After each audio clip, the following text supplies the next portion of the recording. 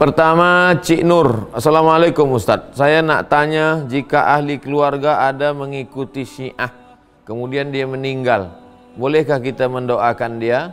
Apakah dia kita apakah doa kita sampai dekat dia? Cik Nur cuba buka Cik Nur cuba buka Google.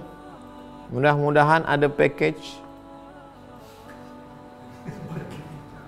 Tulis di situ Somat Morocco. S O M E D M O R O C C O space lepas tu tulis Syiah. Enter. Dah dapat? Klik. Mari kita baca sama-sama. Saya tak nak menjawab saya ingin jawab sendiri dari yang saya baca. Mari kita buka sama-sama Udah? Pertama pendapat Imam Malik. Rawal Khalal an Abi Bakar al-Maruzi. Imam Khalal meriwayatkan dari Abu Bakar. Aku mendengar Abu Abdullah. Imam Malik berkata. Allazi yashtumu ashaban Nabi. Orang yang mencaci maki sahabat Nabi. Laisa lahum ismun.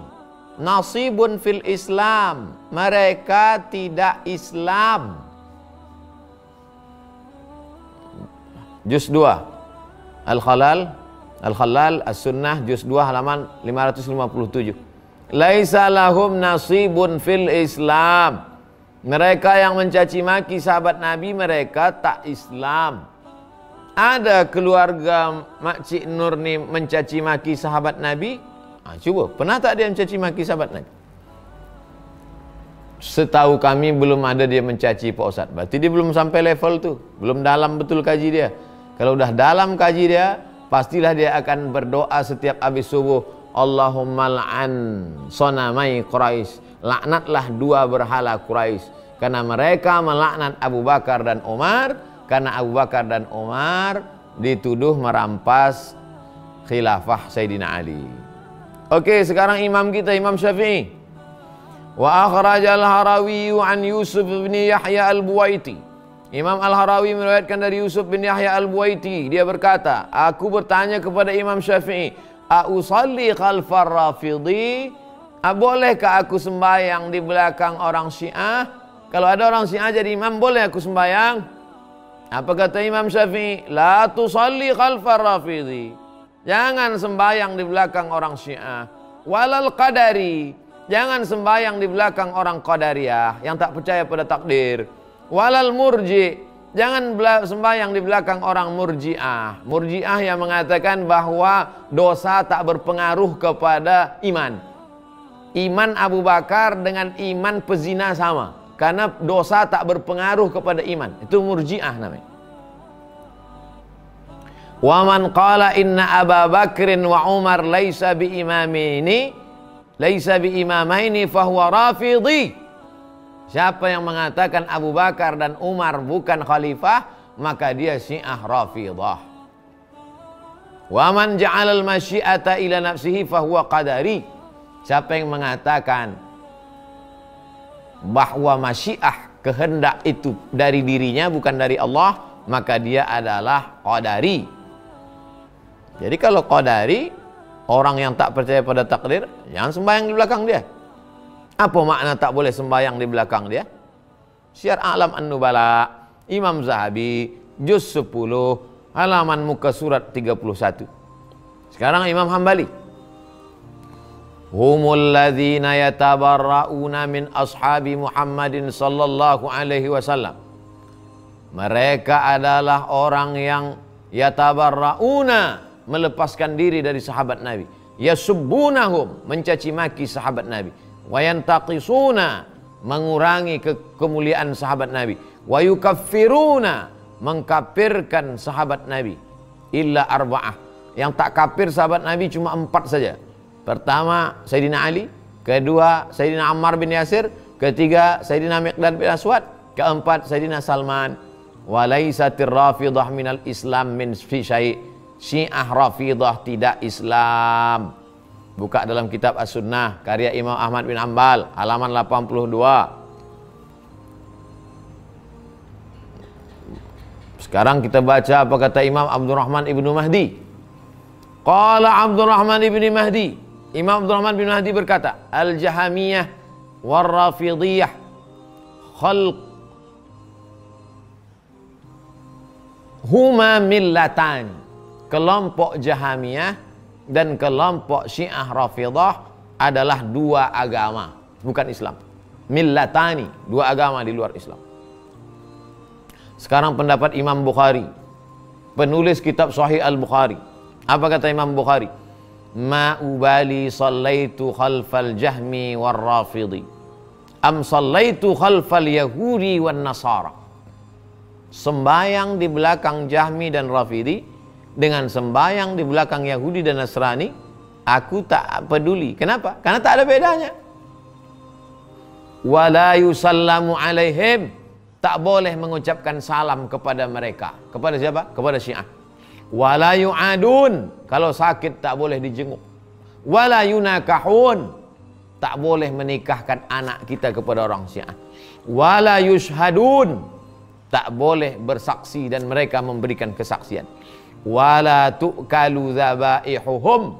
Sembelihan mereka tak boleh dimakan. Sembelih tak boleh dimakan. Makanlah sembelihan juleha juru sembelih halal. Siapa lagi? Imam Al-Ghazali. Imam Bukhari, dah. Imam Syafi'i, dah. Sekarang Imam Al-Ghazali.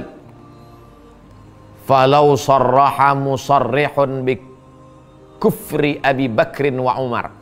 Kalau ada orang secara jelas mengkafirkan Abu Bakar dan Umar, faqad khalafal ijma'a wa kharaqahu maka sesungguhnya dia sudah bertentangan dengan ijma' dan merusak ijma' ulama. Warada ma jaa fi haqqihim minal wa'di bil jannah. Waradda ma jaa fi haqqihim minal wa'di bil jannah. Maka sesungguhnya orang yang mencaci Abu Bakar dan Umar itu sudah menolak hadis Nabi tentang menjanjikan mereka penghuni surga. Al-Ashra al-Mubasysyaruna bil jannah. Wassana'i alaihim. Nabi memuji mereka. Wal hukmi bi sihhati dinihim. Nabi menjamin kebenaran agama mereka. Wa thabati yaqinihim wa taqaddumihim ala sairil khalqi fi akhbarin kasiratin mereka itu benar keyakinannya. Mereka lebih mulia daripada makhluk yang lain. Banyak hadis tentang itu.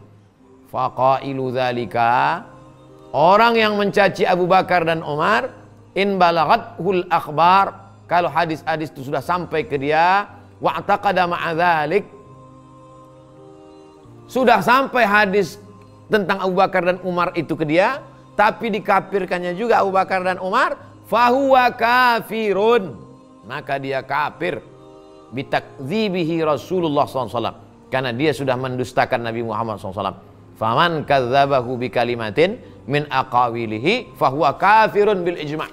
Siapa yang mendustakan Nabi Muhammad, maka dia kafir dengan ijma'. Baca kitab Imam Imam Al-Ghazali nama kitabnya Fadaih Al-Batiniyah halaman 149 ah banyak lagi. Baca sendirilah makcik letihlah. Baca sendiri Oh kami nggak ada mengkapirkan Abu Bakar itu yang mengkapirkan Abu Bakar dan Umar itu dulu ah, ini ini ini 40 masalah syiah Nama penulisnya Emilia Renita. Nama editornya Jalaluddin Rahmat. Penerbitnya Ijabi Ikatan Jamaah Alul Bait Indonesia. Halaman 194. Ditulisnya Abu Bakar LA. LA itu apa artinya? Laknatullah alaih. LA itu laknatullah alaih. Bukan lubu aluang.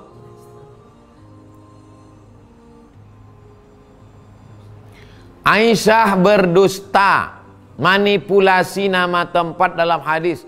Nama bukunya Al-Mustafa pengantar studi kritis tarikh penulis Jalaluddin Rahmat penerbit Mutahari Press cetakan pertama Juni 2002 dah habis nih kalian potong video nih share. Baru saya menuai bully dibully mereka dicaci mereka tak peduli saya golok dari uh, Babe Sidik siap untuk motong kurban Jangan kalian potong video ini nanti.